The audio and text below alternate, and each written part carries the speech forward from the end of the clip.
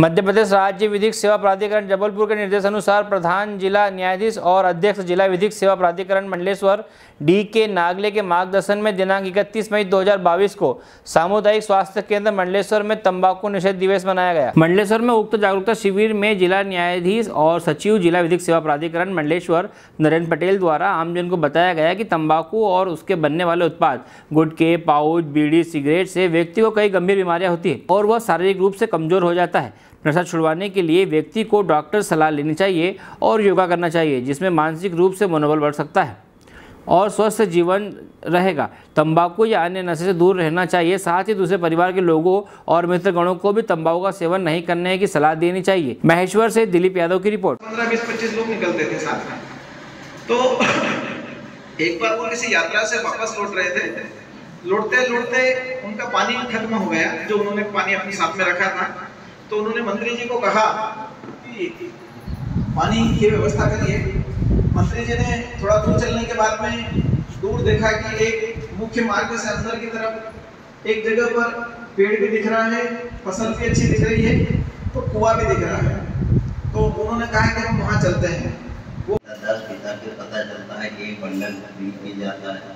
गुटखा खाता तो इतने गुटके खाते हैं कि वो मतलब खाना खाते समय खाली मुँह को खाली रखते, बाकी समय में चबाते रहते। तो ये जितने भी तरह के तंबाकू है, फ़ायदा किसी से नहीं है, उससे तीन चीज़ों का नुकसान है। There is only loss of money loss of time and loss of personality यदि आप कहीं बैठे हैं या खड़े हैं या किसी से बात कर रहे हैं, आपके मुँह में तंबाकू है, आपके मुँह से छींटे उड़ रहे हैं, आप बात करते जा है ना? तो भी आप मतलब तो आपको एहसास नहीं हो रहा है। आप जो बोल रहे हैं, उसमें स्लरिंग आ रही है लड़खड़ा रही है, जबान। लेकिन फिर भी आप उसको खाते रहते हैं। और केवल पैसे का ही पंद्रह, बीस, पच्चीस लोग निकलते थे साथ में। तो एक बार वो किसी यात्रा से वापस लौट रहे थे। लौटते लौटते उनका पानी खत्म हो गया, जो उन्होंने पानी अपने साथ में रखा था।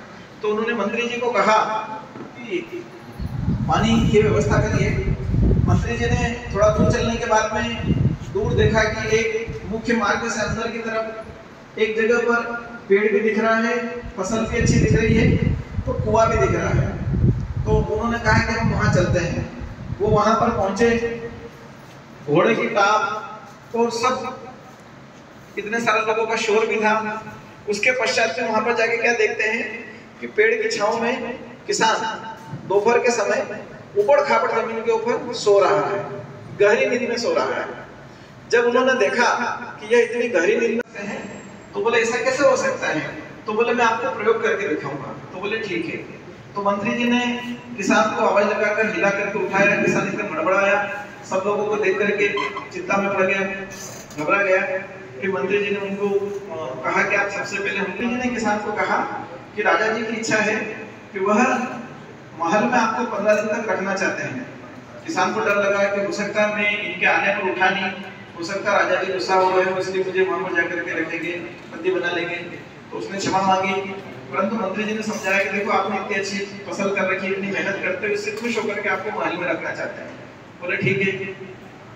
वो उनको हेलो फ्रेंड्स आप देख रहे हैं हमारा channel S W twenty four news हमारे सारे वीडियो सबसे पहले देखने के लिए आप हमारे चैनल को सब्सक्राइब करें और पास में लगे बेल आइकन को दबाना बिल्कुल भी ना भूलें।